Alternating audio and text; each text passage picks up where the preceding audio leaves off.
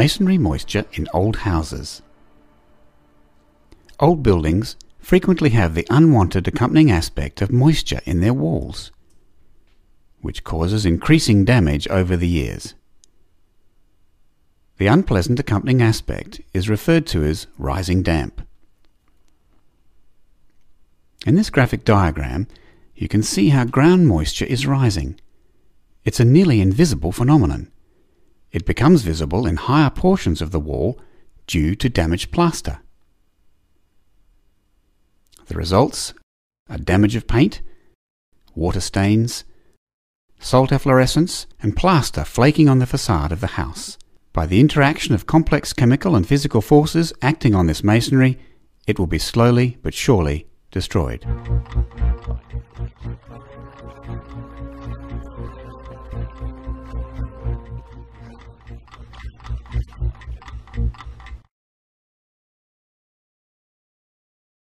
Basic data. From building physics, we know that water is absorbed from building materials like a sponge. This effect is referred to as the capillary effect. If we put two materials of different porosity into a water bowl, we will observe the following. Building materials with larger pores absorb more, while those with smaller pores absorb less. The thinner these pores are, the more capillaries they have, the higher the water rises. In old masonry that lacks a horizontal moisture barrier, or where it is partly rotten, ground moisture rises into masonry.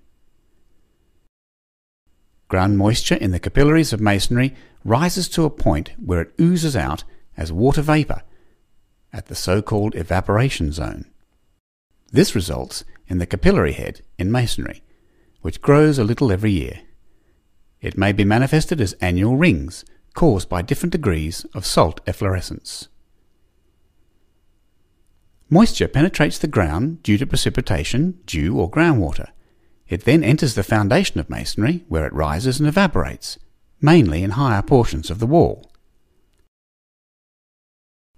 The greater the quantity of moisture, the larger is the amount of evaporation at the evaporation zone. As a result, salts that damage the basic structure of a building enter the masonry from the ground.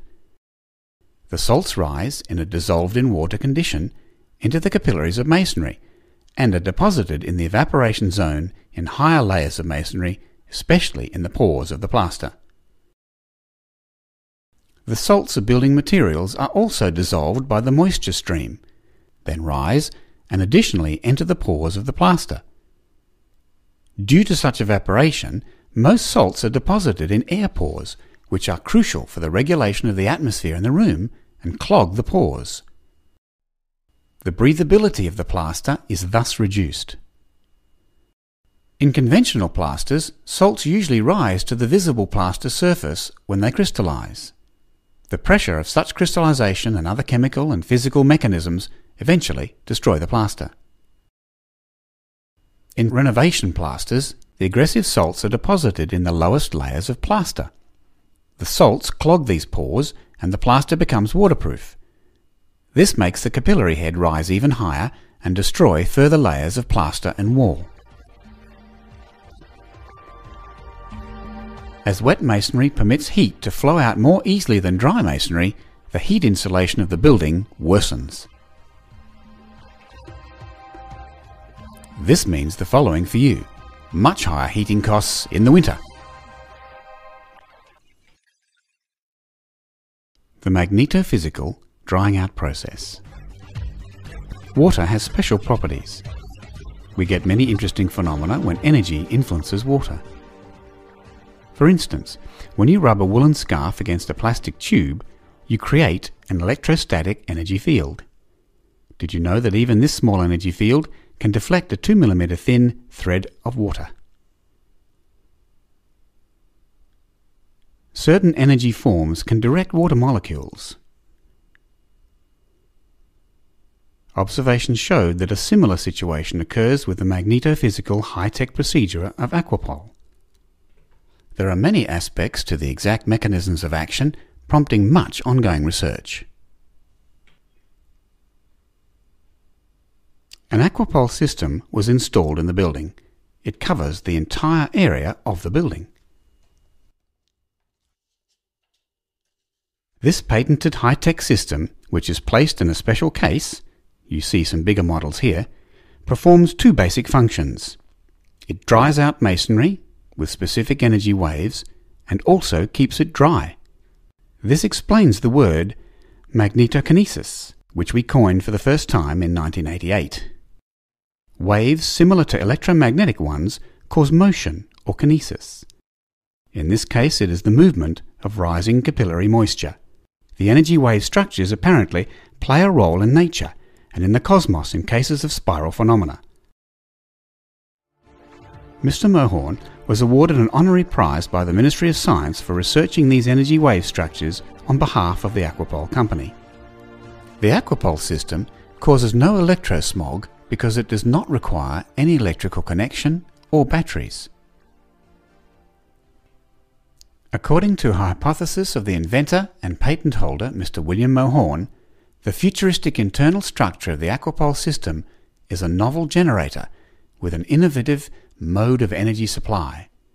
Its components are reminiscent of those of the long forgotten but ingenious inventor Nikola Tesla, who laid the foundation for a worldwide introduction of the three-phase alternating current. For his basic functional research and successful implementation of these principles to dry out walls, Mr. Mohorn was awarded the Kaplan Medaille, the highest award for researchers and inventors in Austria. Aquapol Company developed complex and innovative high-tech measurement procedures for the production and quality control of the Aquapol systems. These guarantee high quality and 100% functionality in the long term.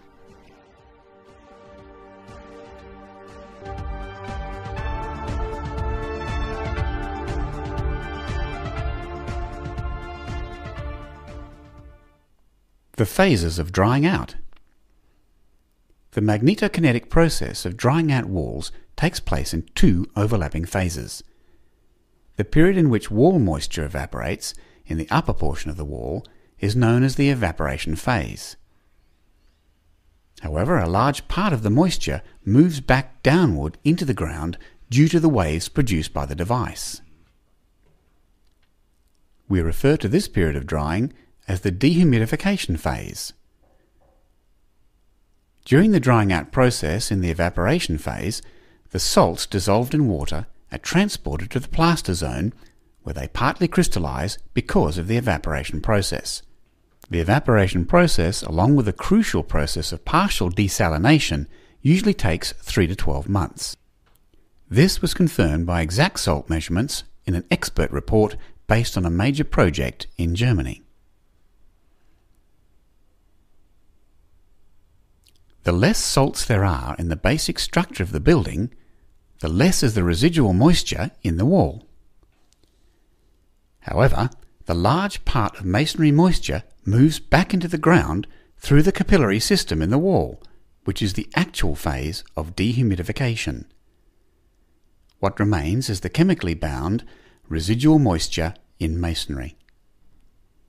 The external climate might play a major role when walls contain a lot of salt. This is why we occasionally encounter moisture variations due to climatic factors, although the wall will have achieved its level of residual moisture.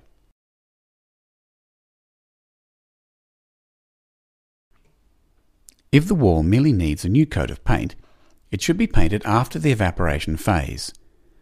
According to the ONORM, Austrian standard, and according to our long years of practical experience, the actual plaster renovation should be performed only after the wall has been dried.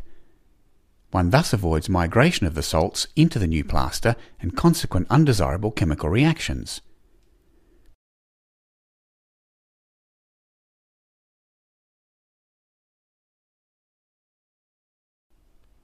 When the salt content of the old plaster is too high, moisture spots will appear on the surface.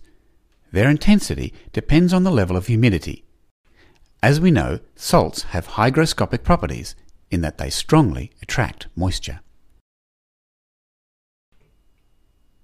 Which services does Aquapol offer? Watch part 2. Building analysis by the salesman. Every building is analysed in regard of its moisture damage by a trained Aquapol salesman who uses a moisture diagnosis device for this purpose.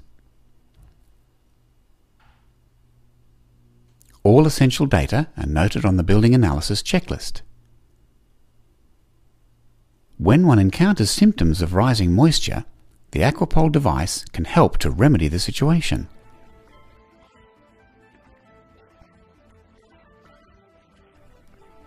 Even a small quantity of rising moisture is enough to cause moisture damage in the long term.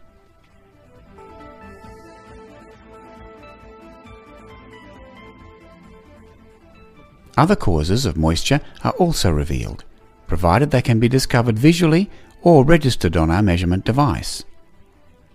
These causes can be eliminated in combination with other measures or techniques.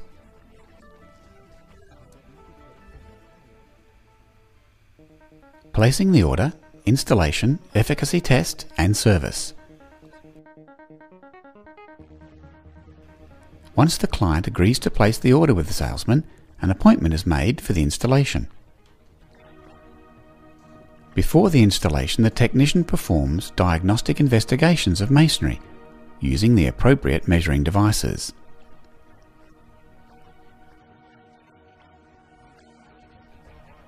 He determines capillary heads for the entire building and draws a capillary head diagram. Geological influences on masonry moisture and other important details are noted on the plan. Moisture measurements are carried out according to the scientifically accepted DAR method at places determined in agreement with the client. This laboratory measuring device guarantees highest precision, fast determination of moisture content on site, and maximum objectivity for the client, and the results are noted in the measurement report.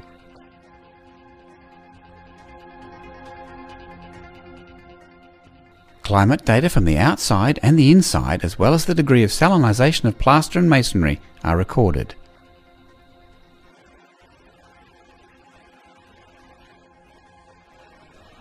Diagnostic investigations of masonry provide further information about the condition of walls. Any accompanying measures that may be required are then discussed with the client. Accompanying measures may be needed to prevent local hindrances to the drying out procedure. Such measures include the repair of the roof water runoff system, removal of moisture blocking layers, or layers containing excessive salt.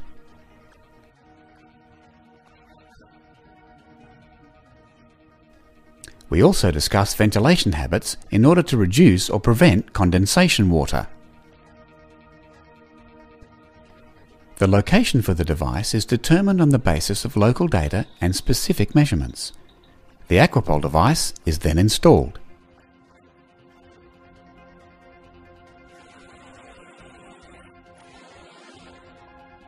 The Aquapol efficacy test is carried out in a standard way. With this test, we can verify the direct effect of the Aquapol system and render it visible for our clients, even in most remote portions of masonry.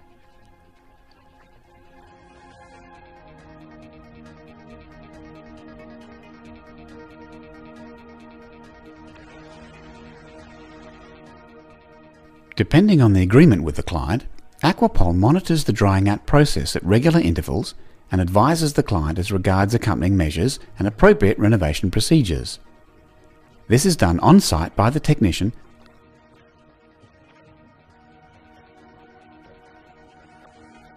or via telephone by our technical department. Rooms with a high level of humidity, such as bathrooms, kitchens, bedrooms, cellars, or rooms with cold walls may occasionally reveal condensation moisture on the wall surface in addition to rising moisture. When this turns into a permanent condition, the masonry behind becomes more moist. Aquapol offers solutions for this problem as well. Aquapol's references Aquapol's list of references includes buildings of very different sizes and building materials.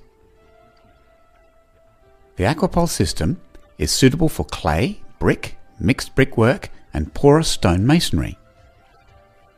Numerous farms, single family houses, apartment houses, schools, and public buildings have been dried out most effectively by the Aquapol system, without cutting into walls and without chemical substances. Sometimes none or very little accompanying measures, such as the removal of old plaster, are needed to free a building from rising damp. Even large buildings can be dried at a reasonable price with this intelligent technology. Former wet cellars can be used again. A large number of listed buildings can be freed from destructive rising damp. The environment-friendly Aquapol system will keep the building dry for decades because these high-tech systems contain no electronic wear parts and supply their own cost-free energy. This revolutionary technology saves valuable cultural assets and frescoes.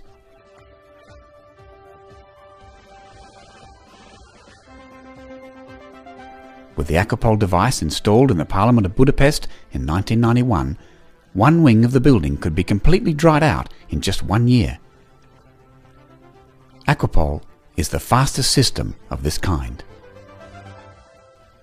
The innovative character and the many positive properties and side effects of the Aquapol system explain the large number of international prizes and favourable expert opinions the company has received. This level of recognition is unparalleled in this sector of alternative methods of drying out walls. You may request further information material directly at Aquapol International or from the Aquapol branches in your country.